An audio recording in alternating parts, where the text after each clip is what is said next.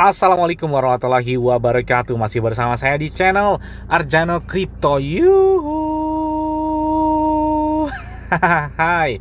Woi, apa kabar kalian hari ini? Semoga kalian hari ini luar biasa. Karena market lagi bearish. Oke, sepertinya hari ini Bitcoin dan beberapa altcoin lagi koreksi. Tapi setidaknya masih Alhamdulillah lah ya. Masih di bawah 37 ribu dolar dan beberapa altcoin juga koreksinya nggak terlalu dalam banget. Tren dia dalam waktu satu bulan terakhir ini pemompannya masih tren bull banget oke. Okay. dan seperti si Inu juga masih kenceng di angka 0,139 1,4 0,15 jadi udah kenceng banget. Dan beberapa altcoin juga buat bulan ini lumayan banget dalam waktu 24 jam terakhir. Termasuk Solana ya yang dua kali lipat dari harganya tiga minggu yang lalu. Bayangin the stand di angka 300 ribuan saat ini udah 900 ribuan rupiah. Wow.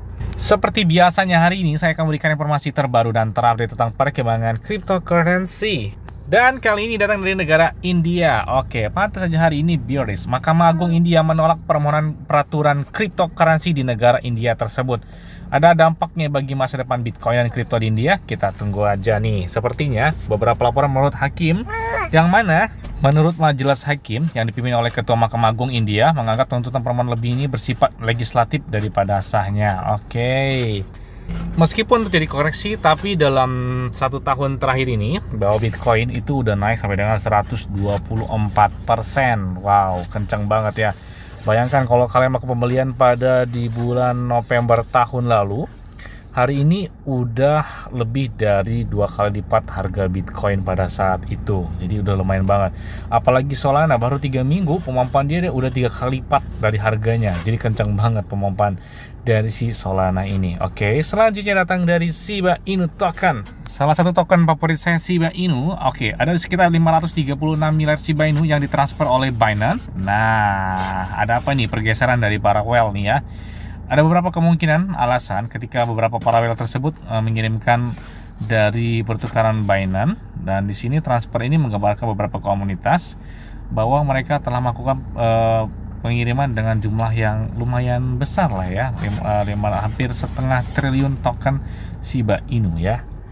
Selain itu juga nilai pembakaran Shiba Inu saat ini meningkat drastis di saat terjadinya koreksi. Lumayan banget pembakaran mereka bahkan kurang lebih uh, 300 ribuan dolar dalam waktu 24 jam terakhirnya. Nah, yes, akhirnya dari Shiba Inu Token mereka mempersembahkan ada edisi terbaru dari Shiba Inu Token. Oke, berita menarik dengan peluncuran edisi kedua di Shiba Magazine yang akan datang, mereka akan membagikan 3000 NFT secara gratis. Wow, enak banget nih.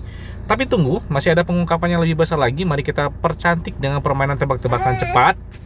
Bisakah kamu menebak siapa yang akan menghiasi sampel edisi kedua kami? Oke, kalau kita lihat di sini sih ada ada siapa ya? Ada readers, ada di sini. Mungkin kalau kalian keluarnya mungkin lebih tahu. Kayaknya pemain tinju sih ya. Pemain tinju atau UFC nih. kita tunggu aja. Apakah bakal terjadi pemaparan yang sangat signifikan pada saat peluncuran tersebut? Kita tunggu aja. Ada yang menarik ya, kalau kalian melahan Shiba Inu sekitar 1000 dolar di tahun 2020 dan pada saat ini itu sampai dengan 16 juta dolar. Bayangkan padahal lagi koreksi ya.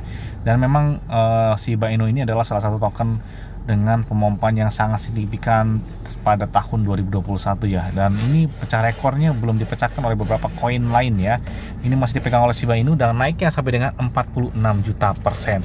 Bayangin dari 1000 dolar jadi 16 juta dolar. Wah gila banget. 1 juta dolar aja berarti sekitar uh, eh, 15 miliar ya kurang lebih ya. Wah gila banget tuh.